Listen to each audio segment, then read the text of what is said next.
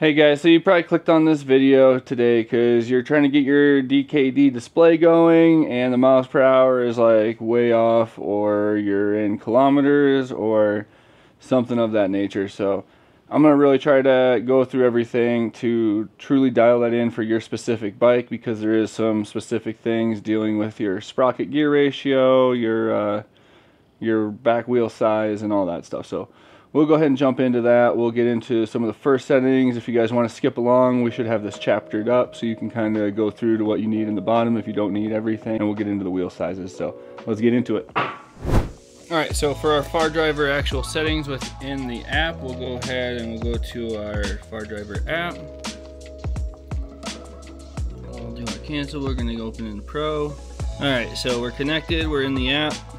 We can see we're have all our settings we set in there. So we're gonna come down and look at for display. So for display, we wanna go ahead and look at mainly down at the bottom here. We have like the last five things basically, I think. So we're gonna wanna go ahead and change all of our wheel width, our wheel ratio, our wheel IR, and the gear ratio. All right, so here we can see I just have in our wheel width is 100, which we can see as our first number on the wheel is 100, and then 80, and then 10. So, so we can see those numbers are right there, and those numbers are gonna correspond with like how wide the wheel is, how much it is from rubber to the rim on the outside, and then how big your rim is, is that last number. So um, we gotta make sure those are in right, as long as well as our gear ratio in here, which we actually changed. And we also want to make sure that our speed pulses is set to three up there too. So, and we're gonna go ahead and save all that. All right, so with that saved, we should be set up to actually have that ready on this. And if we have our DKD set up with all the right settings, it should be pretty on. So let's check it out. All right, so looking at this display, we can kind of see here, um, we have this up and going. Now, we do have the plug and play stuff from EMF to make this just plug and play into a Fardriver with adapter harnesses into our EMF harness, or we have a harness from the base, basically we're working on. So anyway, um, we have this up and running. So we want to make sure we also put in our AH in the Fardriver app for our battery to know how full it is. So we'll get with those settings, and then we'll also Sometimes you have to calibrate your voltage with this actually, so we'll get we'll get in that as well. First, we're gonna have two buttons on the back, left and a right. So we'll refer to the left and the right. We're gonna hold our left, and that's gonna get us into the settings. Basically, you're gonna see this screen come up and say CC, and we'll see these. Now, if we don't keep pressing the move button on the right hand side, it's gonna go back to the main screen. You're gonna miss it. So our first one we want to get into is going to be 153. So we're going to move the one on the right, get that to a 1, hit this over to move us over, push this up until we get to a 5, move over, and then get to a 3. That gets us into this number here. I'm going to keep doing this so we don't lose it. This number is going to be if you mark out on the ground where your wheel starts and then mark on the ground where the wheel mark is as well and then roll your wheel until you see that line hit parallel to the ground again. And then mark that line on the ground measure it with a tape measure ask google what that is in millimeters. We had like four feet and a half inch so 48 and a half inches is 1232 millimeters. So we put that in right here. Now if we let off of that we're gonna get into our next settings. It moves us over to now this number is going to be our important one. This one I've just left and everyone says to leave. So this one is going to be your pole pairs times your gear ratio. So pole pairs is magnets in a motor and then we count them in pairs. So if there's six magnets or um, six poles, there's um, three pairs. So for my 1020 motor, like your Vivor, the ENC Plus, the Kunray 3000 or 2000, any of those motors are going to be a 3. Um, the KR5V, which is what's in this bike right now, is going to be a 5 because it's a 10 pull motor. The FW11 should be a 4. Correct me if I'm wrong, I think the EC4P is a 4 because it's an eight pull motor. So when we talk about gear ratios, again, this is just going through taking our rear sprocket that's on our wheel and dividing it by the number of teeth on our front. So I'm talking the teeth on your rear wheel divided by the teeth on your front sprocket on your motor. And that's gonna give you a gear ratio. So Razor stock, like I said, is right around a 7.2. Um, and that's gonna give you more of a torque here, easier on your motor. Um, gear ratio, I recommend that for a lot of my 1020s, um, somewhere in that 7.2. Um, maybe a little bit lower than that if you're looking for a little more top speed. You can gain a few um, miles per hour and not lose as much torque by just adding a tooth or maybe two to your front sprocket. Um, and it's obviously easier to purchase. So um, now if we go lower and we start seeing like closer to a 5.0 gear ratio, that's where we're gonna see less torque and more of a top speed. So it's gonna take less um, you're going to get to your top speed in less time, but you'll have a higher top speed. It's going to take longer to get up. So those gear ratios closer to the 5, I recommend for something like an FW11, maybe the KR5V, probably some of the ENC, EC4P, whatever he's got going on, higher output motors.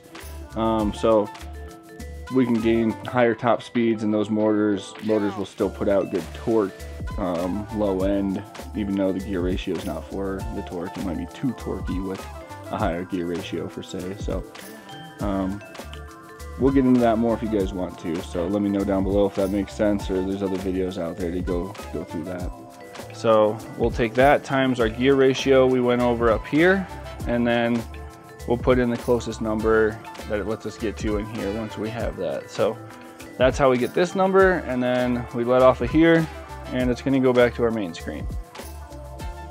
So we're back at our main screen.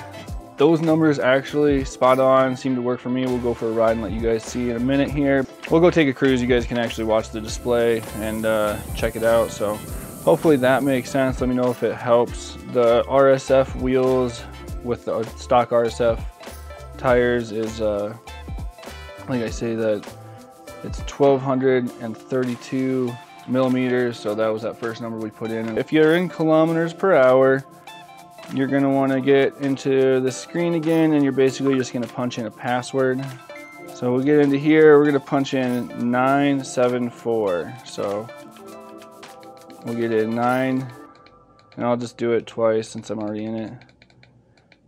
7 4 so now we're in kilometers an hour. So to get back out of kilometers an hour, um, we're gonna, you know, do that same thing. We'll go back and do 974.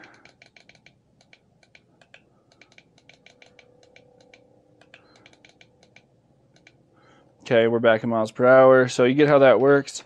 Um, we can reset our odometer miles per hour, but you only can three times per DKD. So use wisely, right? Um, to fix your voltage calibration if it seems like your voltage is wrong or something like that. Yeah, the password is going to be 879 and then you know that pretty much sums it up. I think if this is in times 5 you can change it to times 10. This is going to be your amp bar so that when we see that 10 that means we're pulling 100 amps cracking on that throttle. So guys, let's go for a little ride. Hopefully you guys can see this. I have it tilted down for you. Again, we have the mount for the DKD also on our website if you're wondering how it's mounted from one of our 3D print guys, Marcos. So uh, I'm going to turn my EMF 12 volt system on here. We can see that little light comes on. We got our headlight beam wired in again on the plug and play set for the EMF stuff. So we uh, are good to go. We also have our ride or die brakes on here with the working brake light. Pretty snazzy. But we'll go rip around here real quick so you guys can see. And uh, we'll actually put this other speedometer on. This is just a GPS one. Sometimes this thing's a little laggy, but so you can see the comparison. So we'll see it takes a minute to catch up. This thing knows directly what it thinks it's doing. Um, so we can see like right at seven miles an hour, it's reading right at that six and seven pretty on. So um, pretty stoked with that actually. Now downhill, when I let off the throttle, it's gonna drop to zero on there because the motor's not spinning and we have no uh, freewheel welded yet.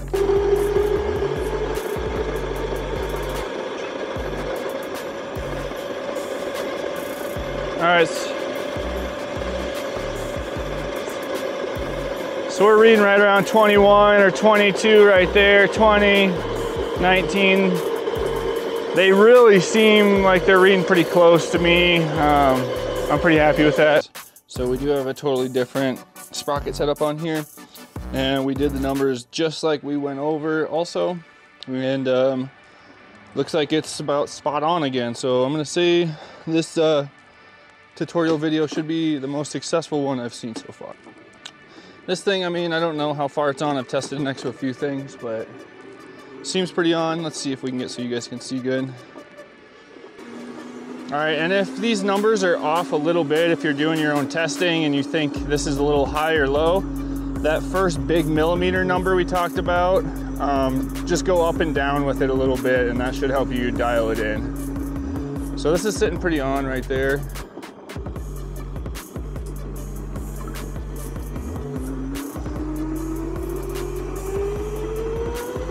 We're just in second here. So I don't know if you guys can see, we're about spot on up there on the dashes. We're seeing 25 and 25, 24.9.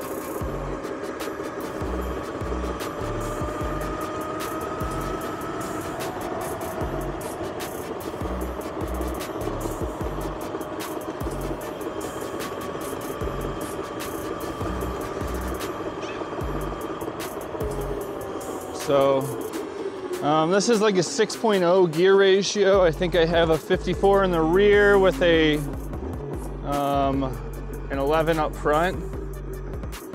Or no, a 9 up front, I'm sorry. So that's giving us a 6.0 gear ratio. But yeah, pretty much spot on. So I think that's uh, that's a winner, guys. But yeah, she's uh, she's wheeling pretty good.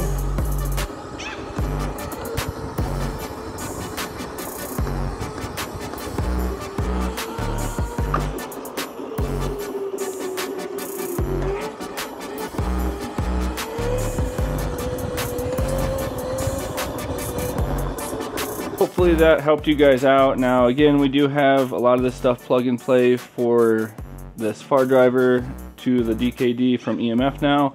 This is running on two separate systems when we see the lights and the blinkers working. So we can go through that in another video if you want to wire yourself. Otherwise, we are having the wire harnesses we're selling right now. So hit me up if you guys think that's an interesting option. So we can uh, kind of have that system going on both and make it feel more like a real bike. Pretty cool. I think it fits this RSF build really well. We did have it on the Bomb Moto B1, but uh, this is gonna look pretty sweet once we're done. All right, I hope that helped everybody out. So as always, be safe out there and ride safe, guys. Peace.